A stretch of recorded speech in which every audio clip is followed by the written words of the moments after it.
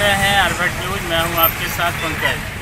जैसा कि आप जानते हैं कि बिहार में विधानसभा चुनाव है और चुनाव का पहला चरण जो है, हो चुका है और दूसरे चरण की तैयारियाँ सभी प्रत्याशी जो है, बहुत ज़ोर शोर से कर रहे हैं। अभी हम फुलवाड़ी विधानसभा में हैं और हमारे साथ गजेंद्र मांझी जी हैं। इनसे हम बातचीत करेंगे और जानेंगे कि किन मुद्दों को लेकर इस बार ये चुनाव मैदान में उतरे हैं और जैसा कि आपको हम बता दें कि लगातार ये जो है अपने फुलवाड़ी विधानसभा क्षेत्र में लगातार ये दौरा कर रहे हैं, लोगों के पास जा रहे हैं, अपनी बातों को रख रहे हैं और प्रचार प्रसार इनका जो है लगातार चालू है। हम आइए इनसे जुड़ते हैं और जानते हैं कि किस मुद्दे को लेकर ये इस चुनावी मैदान में उतरेंगे। सबसे पहले जी, आपका स्वागत है आर्य सबसे पहले तो मैं आज भक्त धन्यवाद देता हूँ। और फुलवाड़ी विधानसभा प्रत्याशी के लिए भारतीय जनता पार्टी का उम्मीदवार हूँ। और जनता को के बीच में मैं जा रहा हूँ, जनता इस बार बदलाव चाहती है, सत्ता के परिवर्तन चाहती है, और जनता इस परिवर्तन के दौर में तीन तीन नवंबर को अपनी फैसला लेके लेंगे।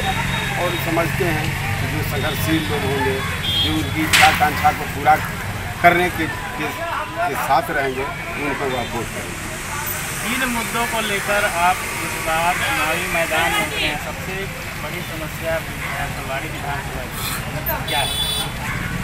फुलवाड़ी विधानसभा विधानसभा की समस्या सबसे पहले अमन चैन और शांति की सद्भावना की। है यहाँ हमेशा आप देखते रहे होंगे कि सांप्रदायिक दंगे लगातार होते हैं। इसलिए पहला मुद्दा मेरा होगा कि अमन चैन और सांप्रदायिक दंगे नहीं हो, इसको रोकने का पहला काम मैं करूँगा, जहाँ भरसक में प्रचार प्रयास करूँगा कि सांप्रदायिक दंगे इस फुलवाड़ी और इस विधानसभा के अंदर किसी भी तरह का नहीं हो, शांति व्यवस्था कायम रहे। यह पहला मुद्दा होगा मेरा।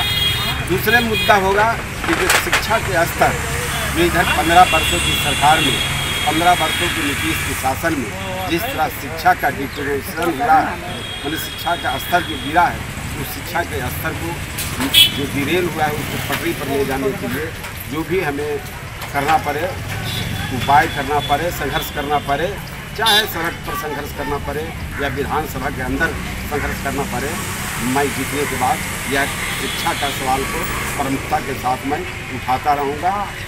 और तीसरा है किसान जो आज तक जो महरूम हैं, इस सरकार से जहाँ सिंचाई की व्यवस्था नहीं होती है।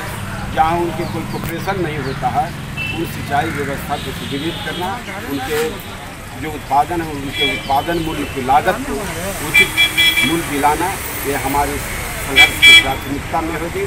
और जो यहाँ के गरीब गुरबे के हैं, जो कहीं आवास नहीं है, कहीं उनके रोजी रोटी के लिए कोई रोज़गार नहीं है। और खास करके फुलवारी में बेरोजगारी के भयंकर सवाल है। मैं इस बेरोजगारी के लिए, मैं अपने स्तर से जीतने के बाद चाहूँगा कि फुलवारी में भी कंपनियाँ बैठे जहाँ जहाँ इस इस फुलवारी के लोगों के रोज़गार मिले। इन्हें रोज़गार के लिए बाल बच्चे को छोड़कर पत्नी के छोड़कर, बूढ़े और बूढ़ी माँ को छोड़कर दिल्ली, हरियाणा, पंजाब, हैदराबाद आदि जगहों पर रोजी रोटी के लिए पलायन नहीं करे नहीं करना पड़े। मैं इसका ध्यान रखूँगा और विधानसभा में भी संघर्ष करूँगा और इसके लिए मैं सड़क पर भी संघर्ष करूँगा। इन्हीं मुद्दों को लेकर हम फुलवाली के मतदाओं, मतदाताओं के पास जा रहे हैं और इन्हीं सवालों पर हुआ। हमें वोट करेंगे और संघर्षशील लोग संघर्षशील व्यक्ति को ही ये लोग जिताएँगे। यही मुझे आज भट्ट चैनल से उम्मीद है कि इन बातों को जनता के बीच में हम ले जा रहे हैं। गजेंद्र जी, एक चीज़ देखा जाता है कि आप हैं। तो माझी परिवार के जो लोग थी वो कहीं ना कहीं शिक्षा के अभाव से, कहीं ना कहीं खाना पीना के अभाव से होती है उनके बहुत निचले दर्जे से देखा जा रहा है बिहार में हो या देश में हो उनके लिए आपका सबसे पहला कदम अगर जीत के अगर आते हैं आप हमारे विधानसभा से उनके लिए आप सबसे पहले कदम क्या करें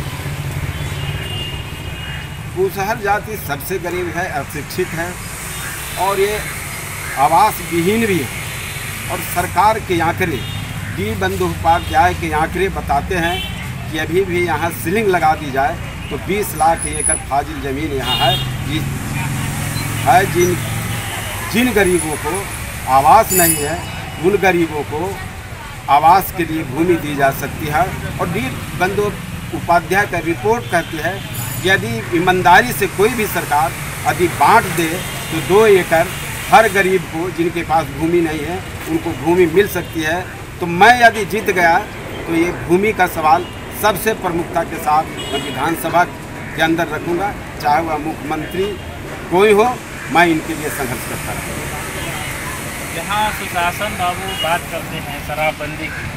लेकिन कहीं ना कहीं अभी भी शराब जो है, पूर्णतः बंद नहीं हुआ है।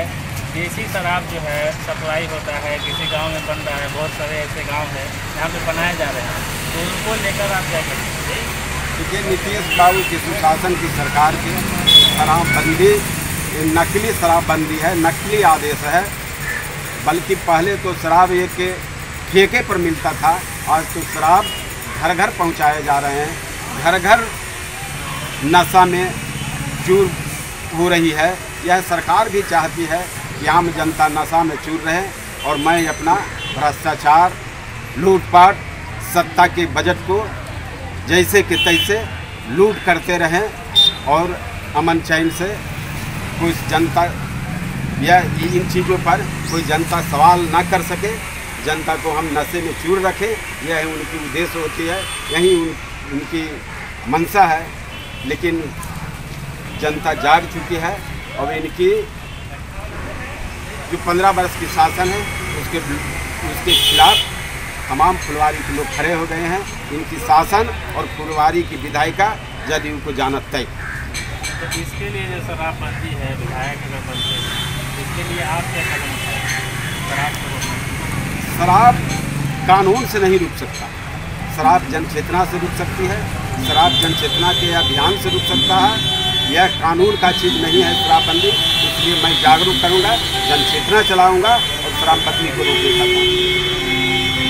तो ये थे गजेंद्र मांझी जी, जिन्होंने जो भाजपा से हैं, भारतीय सब लोग पार्टी से, और ये इन्होंने कहा कि जब मैं जीत के आऊँगा फुलवाड़ी विधानसभा में सबसे पहले रोज़गार दूँगा और उन अपने मांझी परिवार, जो मुसहर जाति के लोग हैं, उनको शिक्षित करने के लिए स्कूल की व्यवस्था करूँगा और साथ ही साथ जो शराब बंदी सुशासन बाबू जो बात करते हैं, शराब का कि शराब बिहार में बंद हो चुका है तो उस पर जो है लोगों को मैं जागरूक करूँगा ताकि शराब बनना जो है बन रहा है जो बिहार में या कहीं भी कोई भी इलाके में, वो बनना बंद हो जाएगा। फ़िलहाल आप हमारे साथ बने रहें। अभी तक हमारे चैनल को सब्सक्राइब नहीं किया है, जल्द से जल्द यूट्यूब पे जाके सब्सक्राइब कर लें फेसबुक पे लाइक करें इंस्टा ट्विटर पे भी आप इसे फॉलो कर सकते देखते रहें यार बस न्यूज़